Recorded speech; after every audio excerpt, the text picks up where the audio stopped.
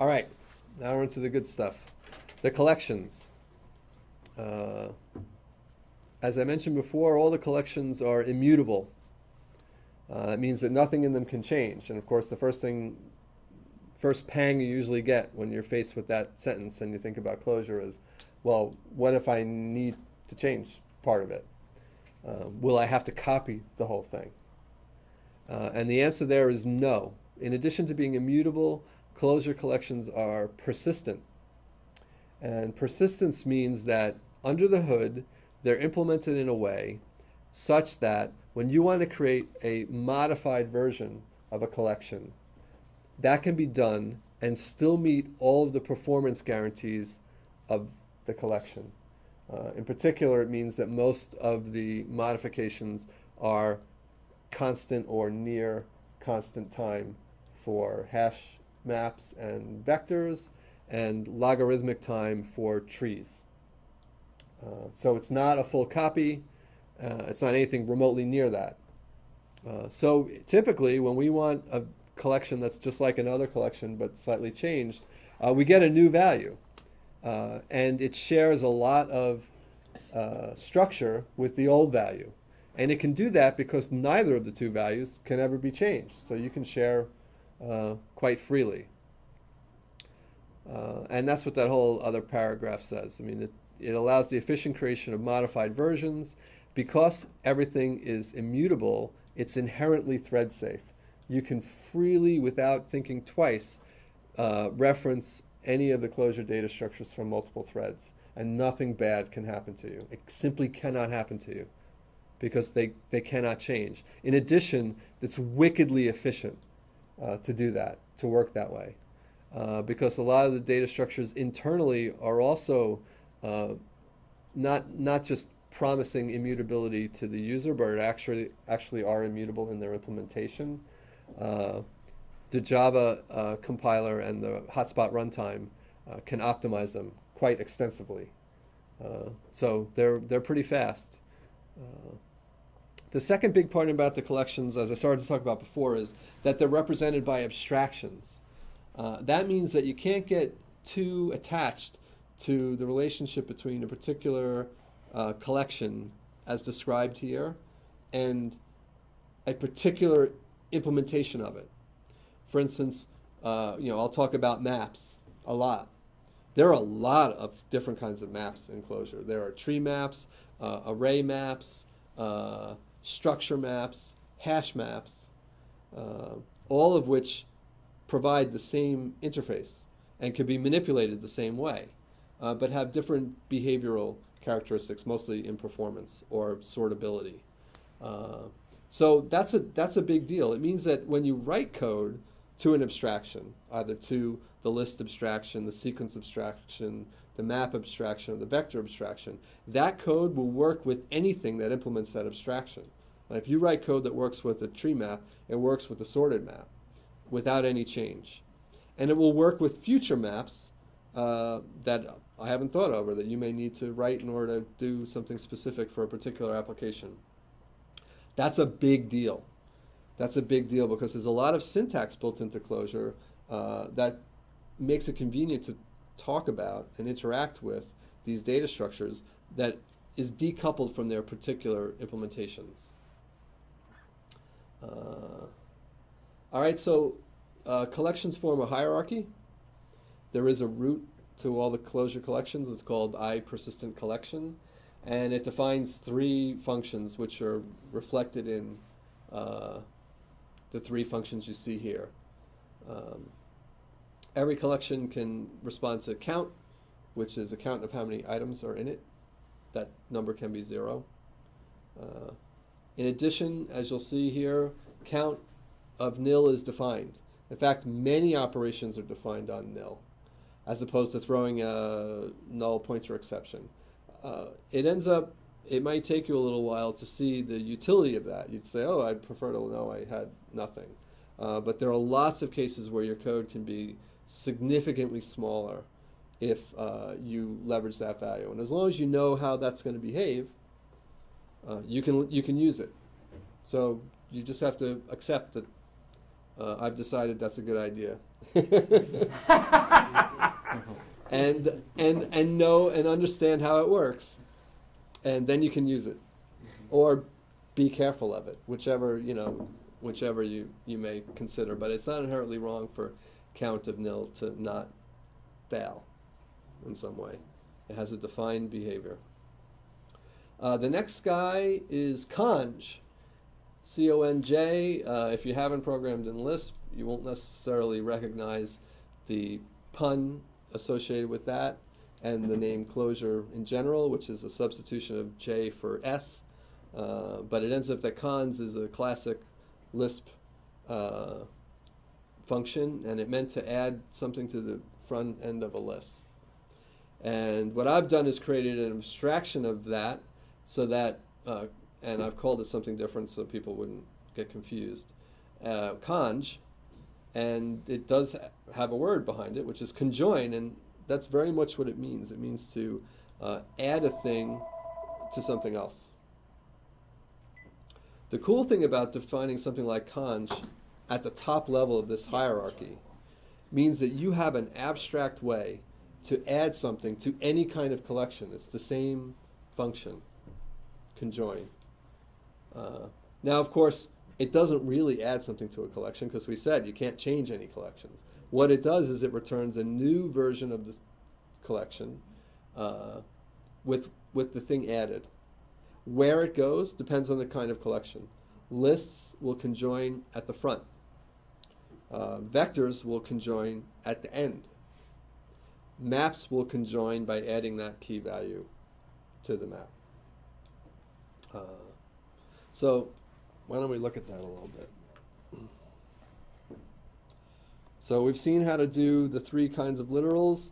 Uh, one of the tricks with literal lists is they must be quoted. Because we saw how if we say A, B, C in a list, the compiler is going to try to interpret the first thing in the list as an operation and to treat the entire list as a call. So we have defined A, right? We've defined it before as 1. I think it's still 1. Uh, but 1 still isn't a function.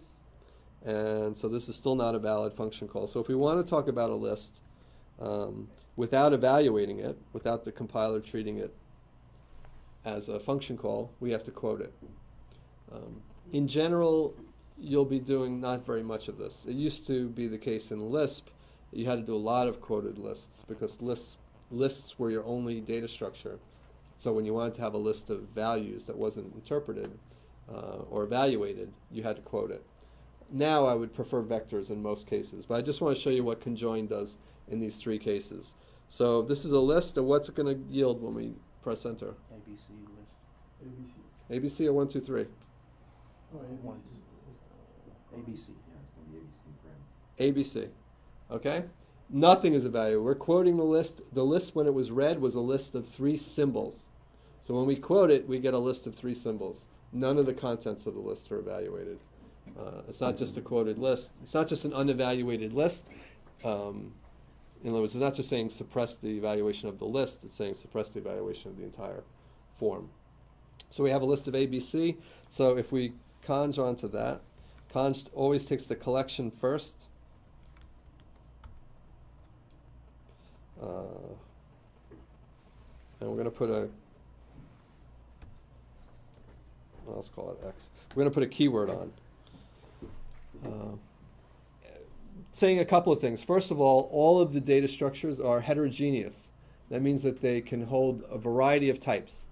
Um, they're not uh, locked down to a particular type. So this list so far only has symbols in it, but I could add numbers to it or other objects or really anything I want. So we're going to conjoin uh, the keyword X to this list, and because it's a list, it goes at the front. Uh, I probably should have put that list in something. Uh, let's put it in LST. So now LST is that list of ABC, and I can easily say conjoin to list uh, X again. Should be the same result. But the big point here is that uh, nothing has happened to LST in this process. Okay, when you say conjoin, you get a new list. The other list is sitting around intact.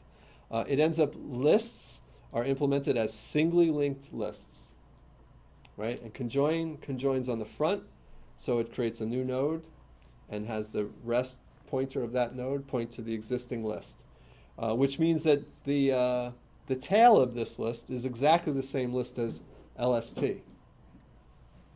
How can we find that out with what you've seen already?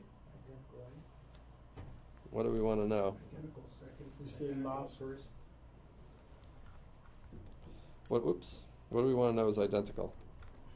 Second What- first conjoined list to the first. Uh, well, we want to make our call, right?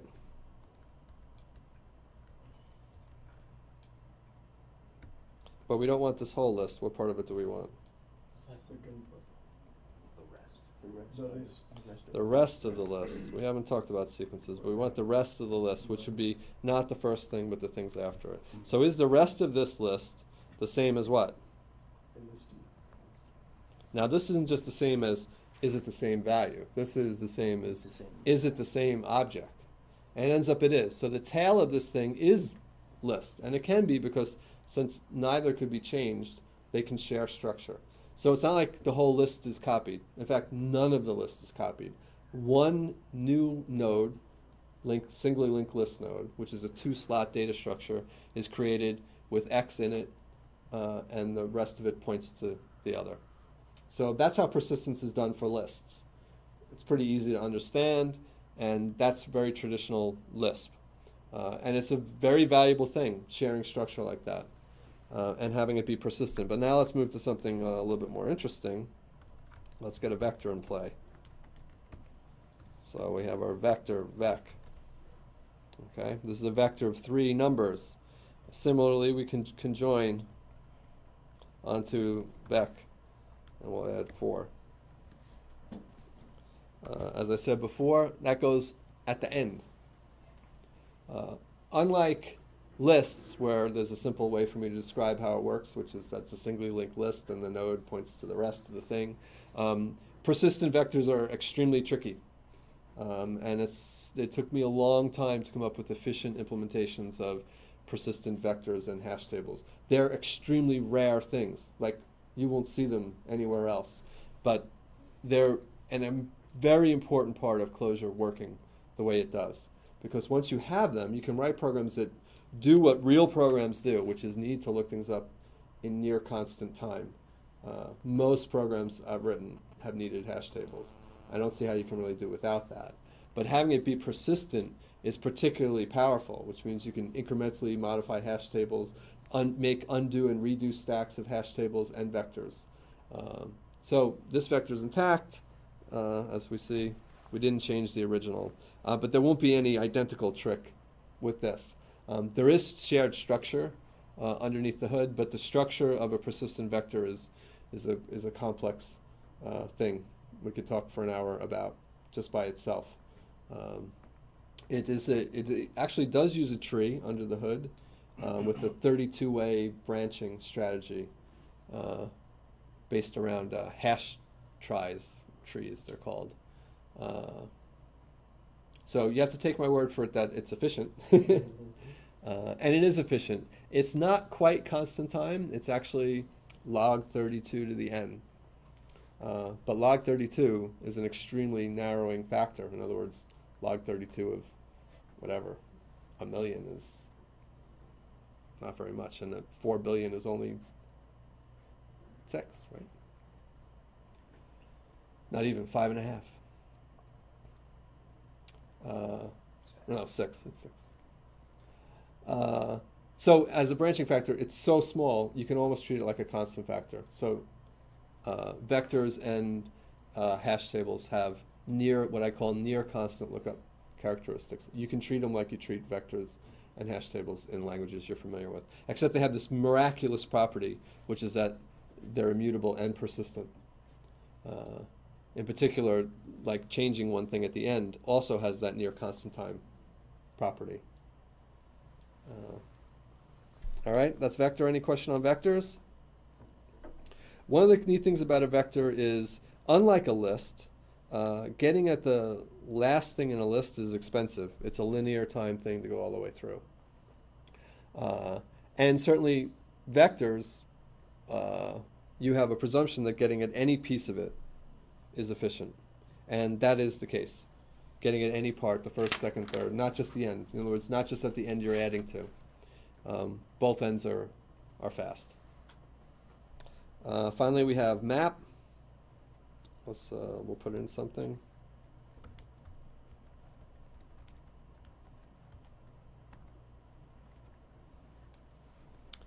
Typically with maps, we don't use conj very much. Uh, we use uh, associate, A-S-S-O-C, uh, much more often because we usually are talking about the keys and values independently. Uh, but it ends up that conj is defined on maps, and it's defined as adding a map to a map.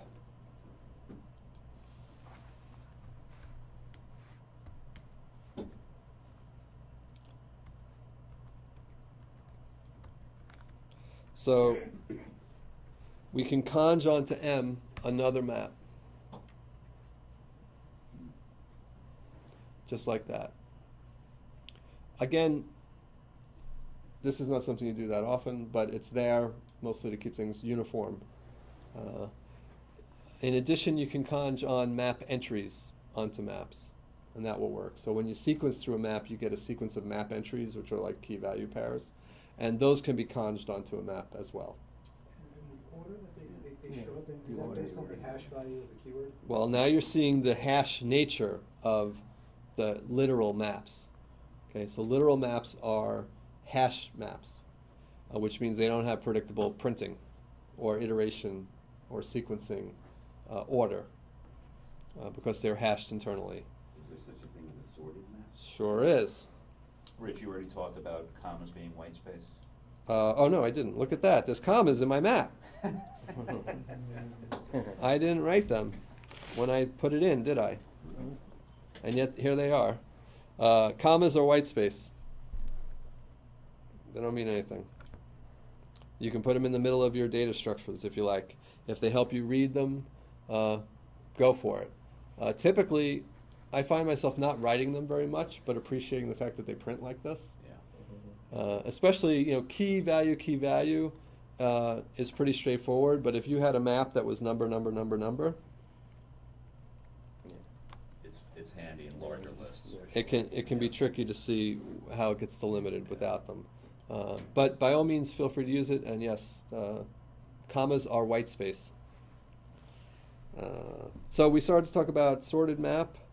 Let's uh, let's make one. You have to use a function call to get a sorted map, but it takes as arguments uh, the same key value, key value as the literal does. Now the trick here is that it's going to be sorted by key, and so that will print out in order. Now M printed out in order too. So let's go back to the conj call, and we'll do SM as the target. The same two other guys, which we saw scramble around in the hash map. That won't happen here. Okay. The sorted map will maintain sort order. Uh, sorted maps can be created uh, by default. They presume the keys are implement comparable, which is a Java interface for things that can be compared to each other. Uh, but you can supply uh, a sorted map with a comparator, in which case that will be used to compare the items. And that way you can get things sorted by internal keys or in reverse order or whatever. Now, if you, if you conj, uh, onto the map again with C with a different value, is it, it, just, it's just like a regular search? Uh, yes. So what if it? What if the value was already there? Is the question. What if m already had a b, which it does, and I'm going to say b is five. Uh, yeah, it will replace the value that's already there. Right. So conjing onto a map means associating those keys with those values, and associate is a replacing thing. Of course, nothing has really happened to SM. Uh, b is still two there. Uh, but in this con- in this new value we created by conjuring these two things together, um, the value that's been added is the one that wins. Okay. All right, we jumped a little bit ahead. Well, that's so that's conjing. So we saw conjing on lists, goes at the front, vectors goes at the end, maps associates the key and values of the conj thing into the original guy. The other big function supported by all collections is seq, short for sequence. Um, what this does is based around the collection type, it returns something that implements the sequence interface.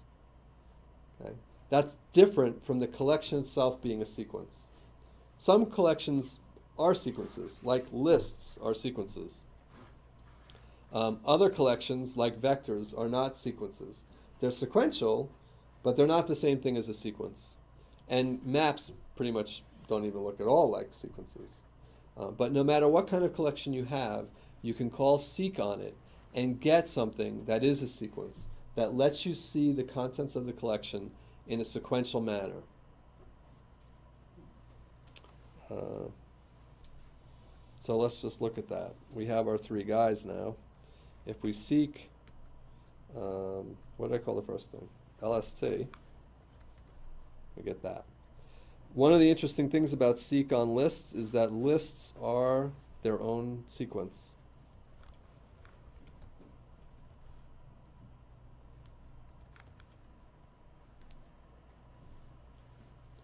That's not true of the other collection types. We can get a sequence of the items in a vector. And you'll notice how these sequences are printing. They print like what? Lists, right? Vec is that, and seq vec prints that way. So when you see parenthesis delimited lists, uh, it doesn't mean anything more than it's a sequence. When it prints, because sequences and oh, I want to and what's the sequence of the map? Call that M. You see the little pairs in there. It's a sequence of those things are uh, map entries, uh, but that syntax you see there is not readable. In other words, I can't I can't type in a one and have anything useful happen. Okay, that's just a printing thing, and that's a an asymmetry in printing and reading. Uh, but it doesn't matter because usually you print maps like that, which is a readable thing. All right, we saw a little bit about lists. Uh, their collections, uh, as I showed or proved before, they implement ISeq directly. In other words, when we ask for the seq of a list, we got itself because it doesn't need to do any work. It directly implements the sequencing interface. Um, count is theta 1. That's an interesting property. So a real list, which you either can create using quote or by saying list and passing the items, is a data structure that maintains the count efficiently. That's not typical of singly linked lists, where usually you know you have to you have to go through and count them all. So usually it's it's big O n. Uh, Conj puts it at the front, as we saw. Uh, so list creates one. List star creates a, a list given individual items and another list that puts those items at the front. You want to see that?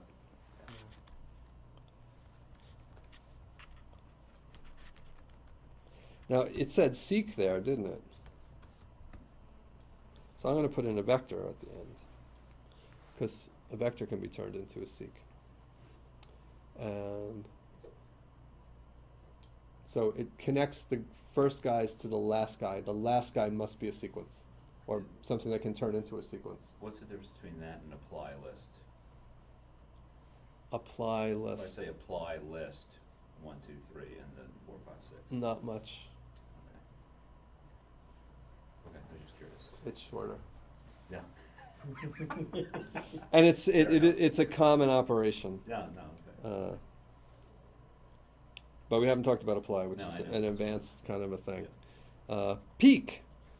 For lists, peek is the same as first, but peek and pop are part of uh, a stack protocol that's supported by both lists and vectors, which is kind of really neat.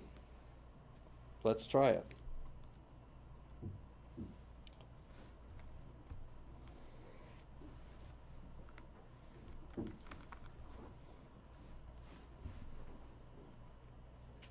We peek at one, two, three, we get the first guy. We pop, we get the rest.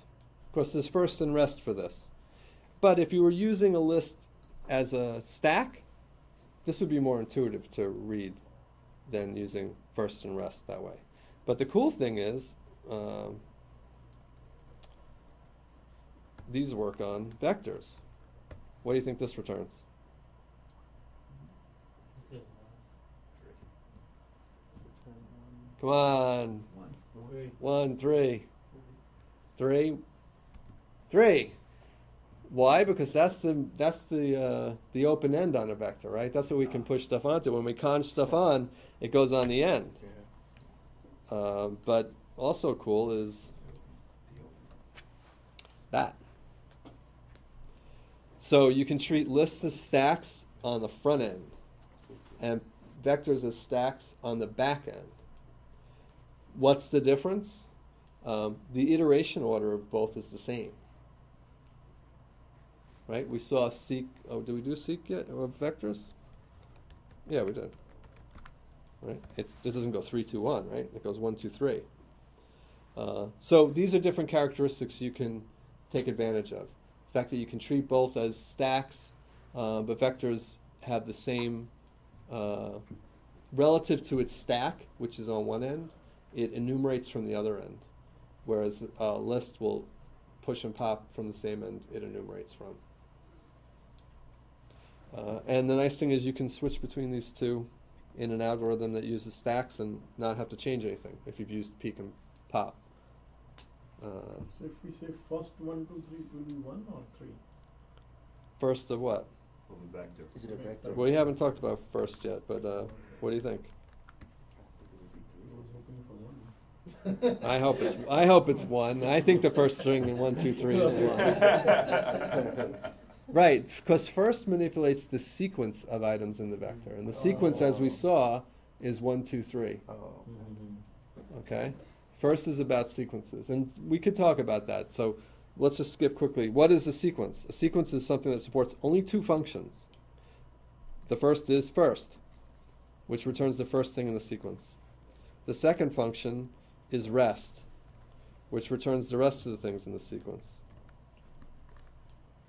Uh, really, the only other things to know are uh, the fact that if there's no more things,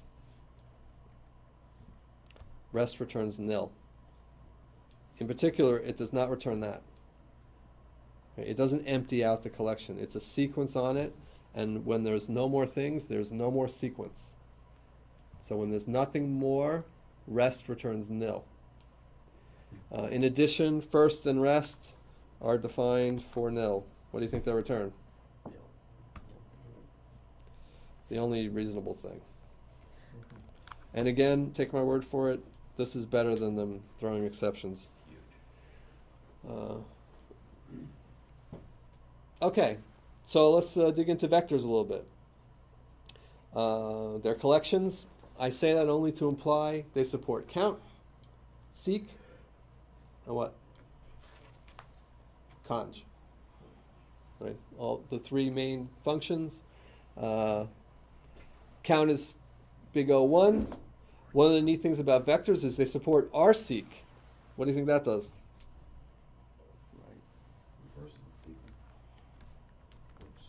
Oops. Seq. rseq. One, two, three. Okay. It doesn't reverse the items in the vector. The vector is what it was. Um, but uh, it also can provide this sequence in a hurry, this reverse order sequence. Whereas reversing a list takes all the time it takes to touch every item in the list. Getting a reverse version of a sequence of a vector is constant time. That's something that you could leverage in your programs when you're aware of it. Uh, we saw a literal constructor for vectors with the square brackets. In addition, there is a function called vector. Uh, and there's a functional way to create all of these things because you're not going to create them all from literals. A lot of times you're going to have data or construct data and then need to make a vector uh, from it. And it just takes a list of the items and it makes a vector out of them. Uh, here now we start seeing uh, a portion of the interface of, of associative things. It ends up that a vector is associative much the same way a map is. Right? What are the keys of a vector? The indexes, Index. right? The indices in a vector are the keys. And so, because of that, uh, Clojure unifies that so that you can manipulate vectors and maps similarly by treating a vector as a, a map of numbers to values.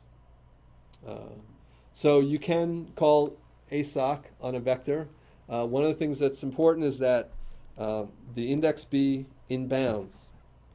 Right? assoc takes uh, an associative thing and it associates a key with a value. Okay, so we can use it on a vector because the vector is an associative thing. And we've associated item number one, which is the second item, because we count from zero, with five. Uh, it's a cool property of uh, vectors that, uh, and of course the key has to be in range. I said we said uh, we can go 13 here, and boom, index out of bounds. Right, we can't create gaps in our vector. But we can do one interesting thing and useful thing with vectors, which is where is 3, index 3, zero based in this vector? No, where is it? The end Ten thing. to the end. It's it's after, it's outside, but it's outside by how much? One. It's just one after. This is okay. Oh, Okay? So you can associate to the just at the end of a vector in order to grow it. Uh, why would you do this? Well, again, depending on the algorithm you're using, you may want to, you know, not care whether it's a map or a vector. And if people know that you're doing that, they know they could grow it by passing in incrementing numbers. Uh, so it's a powerful and useful thing to be able to do. So you can associate with the, uh, an index that's that is equal to the length of the vector, and it will add to the vector by doing that. Okay. Uh, get. Get is the associative call. Uh, it returns the value uh, at the vector at that index. But like the associative interface, the associative interface says if you call get and the key is not found, you get nil. And sure enough, these that key is out of range, I get nil. That key is in range, I get the value. Nth is similar. It takes a vector and an index, but nth is just for vectors and uh, constant time integer indexed things. Uh, it happens to also work for Java arrays, for instance, uh, and strings. It even works on sequences. But the main thing, main point about it here is, uh, there's get, there's nth. Nth is the guy to use if you want to do index checking. If you'd rather get an exception uh, than than nils. And again, depending on the kind of algorithm you're using, sometimes you don't you just want to know is it in range, yes or no. In which case, returning nil is fine. Other times, you really want to make sure you don't accidentally go outside and get get nils at, you know by accident. These are, like I said, near constant time operations, so vectors are fast. Uh, peek and pop we talked about already, right? They work on the end of a vector. Uh, popping an empty vector throws an exception. That's important to know. Uh, and the other cool thing about vectors is, is they support really fast subvector operations.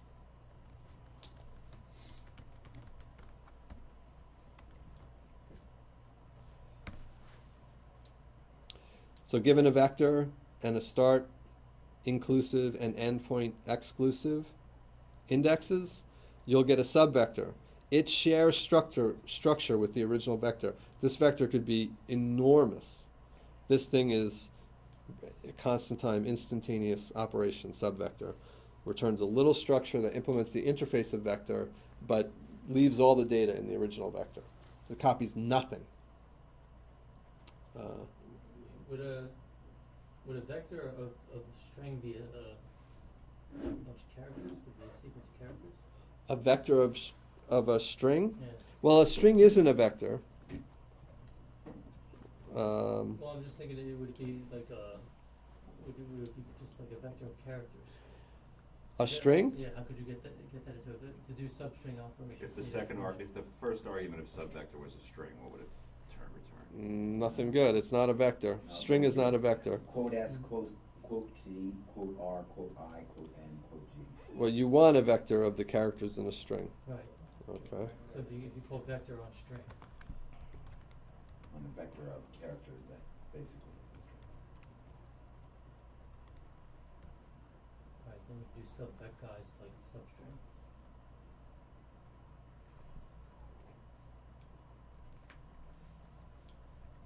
If you want it. Strings have sub Substring. string and you know some other efficient things. They already do this Then we have efficiently.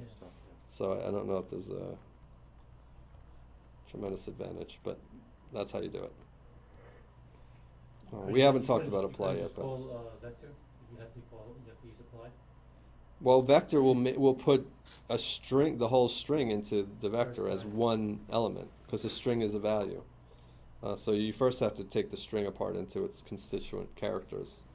Uh, then you're going to have a list of things, and apply takes a function and takes that list of things and makes it as if it's the argument list to the function call. That's jumping ahead a little bit, but. Uh, so it's an important thing to remember that you have an extremely fast subvector, and you can take advantage of that. You can almost use vectors as if they were, you know, like you can do windowing things extremely quickly with no copying.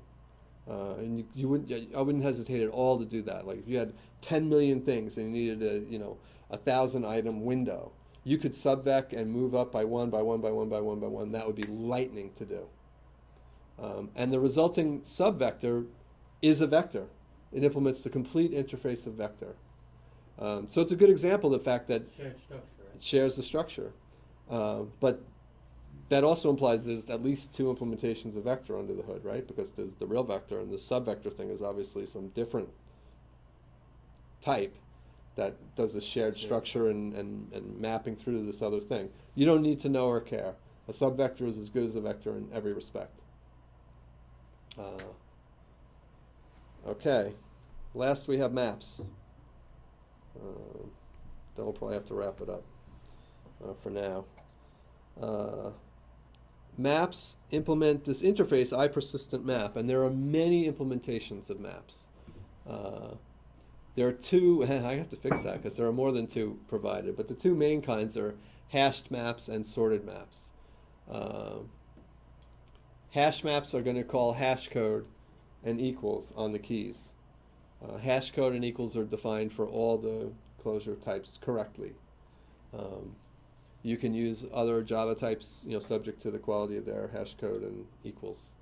Um, as I said before, sorted maps, you can either have keys that implement comparable, which most Java data structures do, um, and all the Clojure primitive things do, like strings and keywords uh, and symbols support comparable. Uh, or you can pass in a comparator to sorted map by uh, this guy here. We'll take a comparator and then the key values, in which case the comparator is used. Um, hash maps are way faster lookup. Log 32 to the n versus sorted maps, which are a red black tree, which is balanced but has uh, big O log n access, which is still very fast. And there are plenty of functional languages that only get by with um, regular red black tree uh, associative data structures. But in, in you know in the real world, I think you simply have to have hash tables, um, and Clojure provides them. Uh, sorted maps are sorted, otherwise they pretty much are identical. Um, sorted maps also support rseq, reverse uh, sequencing, which makes no sense for hash maps because hash maps don't promise the order of the keys anyway in sequencing. Uh, And so, what is a mapping? Logically, a map is a function of a key that returns a value. Right? And a map is a storage of those relationships between keys and values. Uh, you can use nil as the key, you can use nil as a value. Uh, just be careful in that some of the functions for getting the values in maps return nil if they're not found. So if you're going to put nils in a map, you have to be aware of that, and there are ways to interact with the map so that you can find out whether there's actually something there, or you're getting the nil that was there, or there was nothing there. Uh, you can distinguish that. So there are three constructor functions. Again, we saw that the curly brace literal, you know, that the reader reads, will return a hash map, or something that will eventually turn into a hash map. Very small ones actually have other implementations. There are lots of map implementations under the hood. Uh, what you really care about is whether it's hashed or sorted, because those are the two performance differences. Uh, sorted map will create a sorted map, as we saw, and sorted map by takes the comparis- comparator. Uh, uh, assoc is associate, and it does what we saw already for uh, vectors. It's going to take an existing map, and it's going to return a new map of the same basic type, either hashed or sorted, where that key is mapped to that value. If it was already there, this mapping will be the new mapping in the in the returned value. It won't ever affect the existing map. Uh, and now it's not documented here, but assoc takes arbitrary number of key value pairs. Um, so we can try it. Let's see, do we still have M? We have M, so we can associate with M. And you can see why this would be. Uh,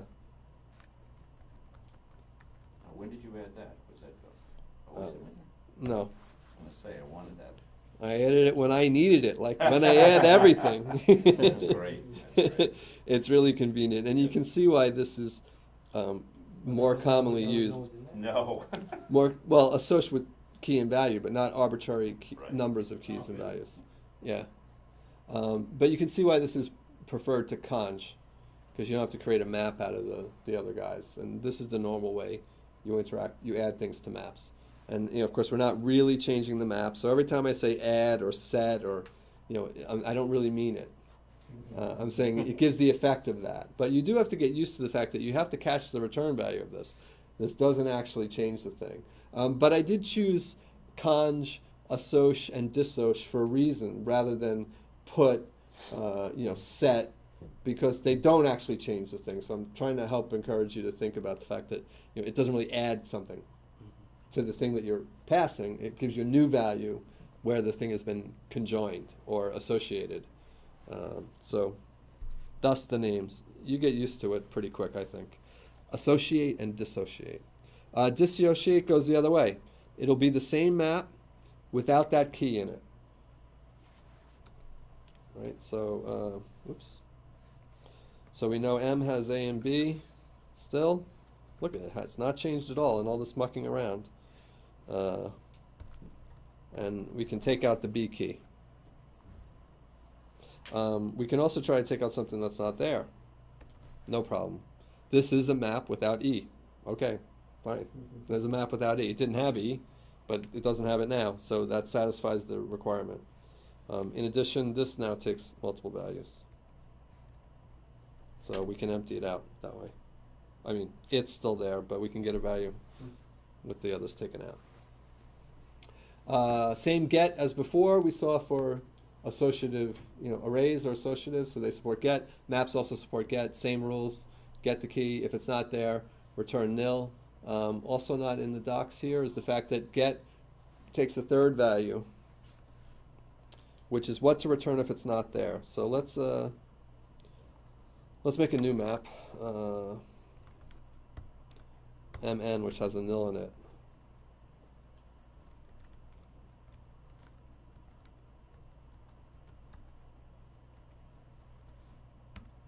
So we look at MN, we see A is 1, B is nil. So which means if we were to get B uh, from N, MN, well, is it there?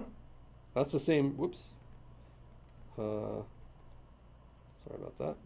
That's the same result I would have gotten if I said this, and C isn't in there. So how do we tell what's going on? Uh, there's a couple of ways. One is there is a function called contains, which looks for the key. No C in there. B. Yes. That's one way.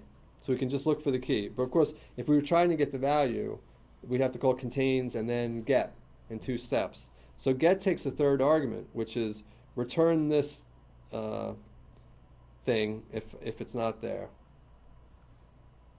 Uh, so I'm saying get from M and C, and if it's not there, return this value, not found. So now I have a safe way to get things that might be null because I can distinguish this. See? Now I get a nil out. It wasn't not found, it was found, and its value was nil. So this is a way to interact with maps where you might be storing nil on purpose. And you can't then use nil as a way to see uh, whether or not something was there. You can pass any value you want as the third value, and that's what will come back. It's also a nice way to do a seed value. If you're going to start up with, with an empty map and you want the first value to be 1, you can, instead of having like put it in there in advance, you can say get, where if not found value is 1, which means the first value you get will always be 1, even if there was no entry. Then you could add something to it or multiply it by something and then put it back in. No special cases required. Uh, so that can be useful. Um, and then there's a bunch of other functions. Find will return the map entry, so you'll get the key value pair out if it's there. Otherwise, you'll get nil. That's another way to go in looking for things. So if I said to find uh, in MNC, I get nil. There's nothing there. But if I try, I keep hitting that key. But if I try to find B, I'll get the key value pair B and nil. Oh, that's weird. That should print nil. That's a bug. Uh, that's not a readable thing anyway, but I'd like that to print nil. Uh, okay, so that's fine. Uh, select, I'm not going to talk about right now. Key and val. If I have one of these map entries, I can get at the pieces of it using key and val. Um, usually, you will end up using those if you've turned the map into a sequence.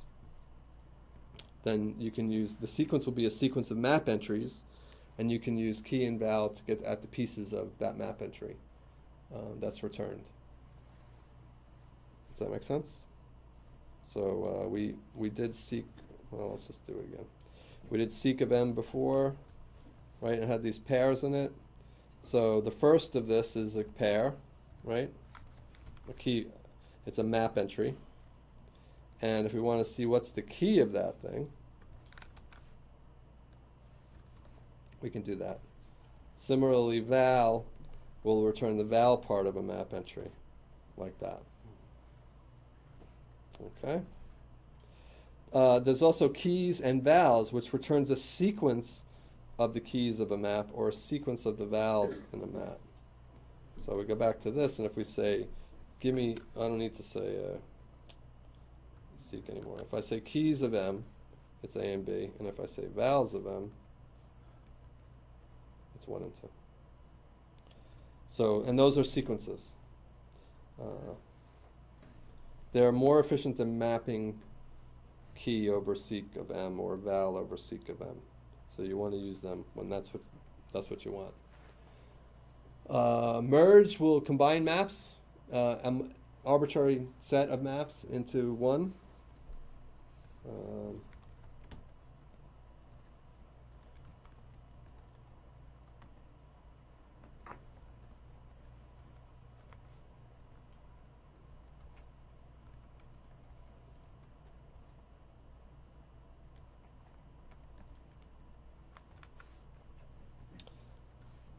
Last one in wins.